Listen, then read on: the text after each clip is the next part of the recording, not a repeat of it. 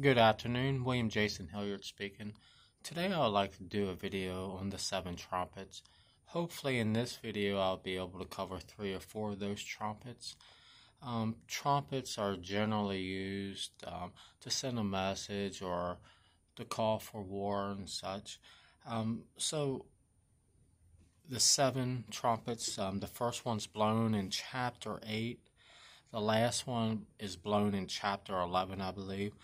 So, verse 7 The first angel sounded, and there followed hail and fire mingled with blood, and they were cast upon the earth, and the third part of the trees was burned up, and all the green grass was burned up.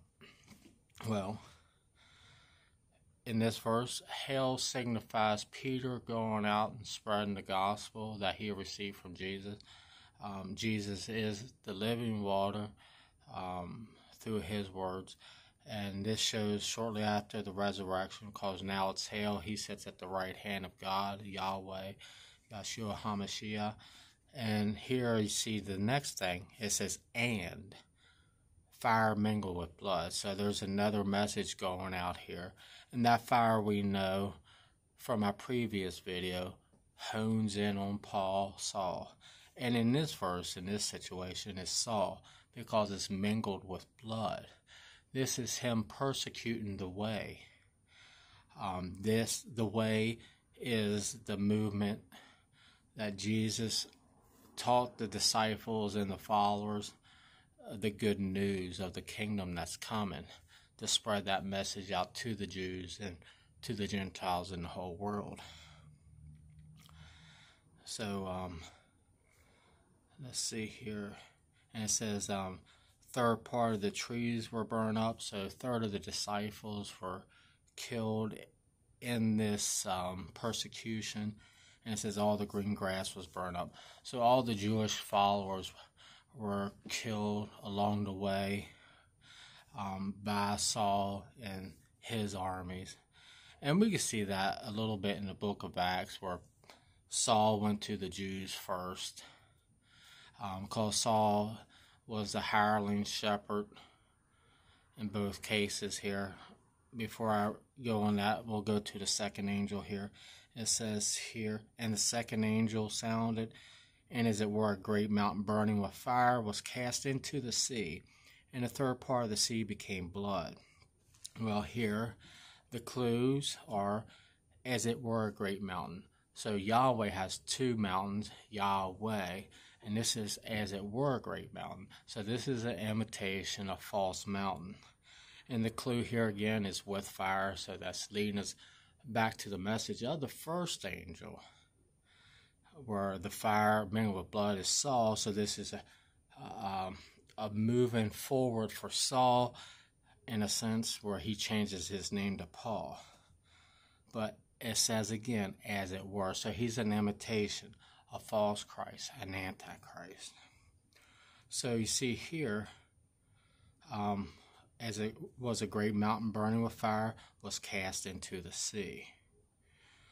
And the third part of the sea became blood. So this is telling us him moving out, spreading his his message, his doctrine.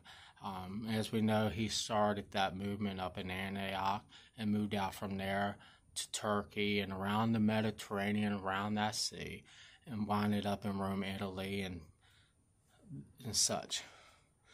Um, and it says sea became blood. It says, in the third part of the creatures which were in the sea and had life died. So here you have two messages going out. The one by Peter and that was given to him from Jesus, given to the 12 disciples and the followers. That message is going out. And that message from the beginning, from the beginning of time, even before Abram, Abraham. So that message is going out. And you got this perverted message going out from Paul. Um, and what it says here, and those that had life died. So, you know, here we're kind of looking like Christians. There's two forms of Christianity here. Um, this is the true one, the one of light, the Jesus. And it's saying here that they were even persecuted. amongst the Gentiles. Um, because it says a third of the ships were destroyed. So those Gentiles carrying out Jesus's messages and putting it in writings and stuff, even they were persecuted along the way. Okay. Um, so again, let's move on to the third angel here, verse 10. And the third angel sounded, and there fell a great star from heaven, burning as it were a lamp and it fell upon the third part of the rivers and upon the fountains of waters. And the name of the star is called Wormwood, and the third part of the waters became wormwood, and many died of the waters because they were made bitter.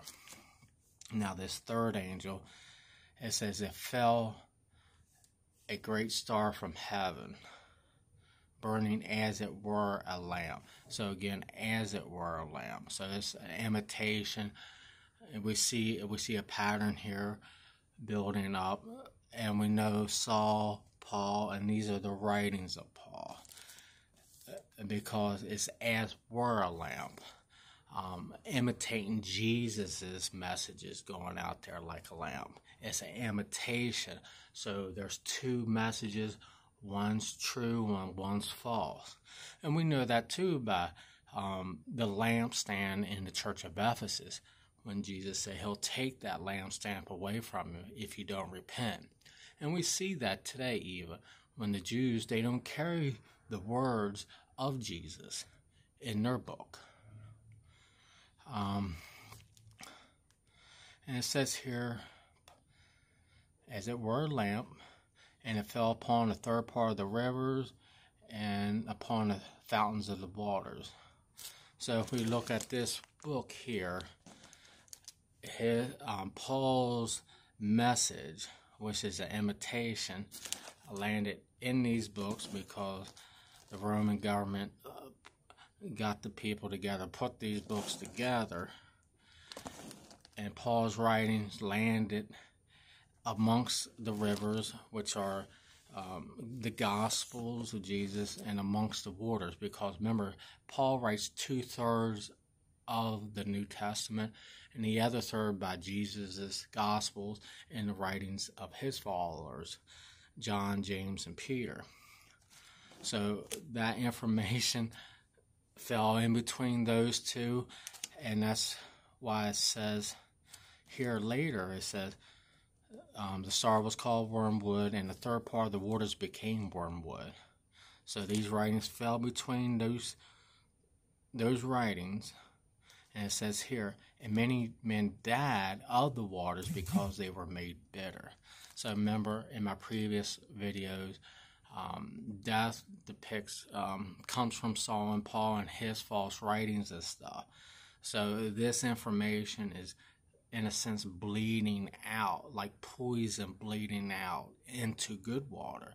Or uh, an example like Exxon Valdez, when it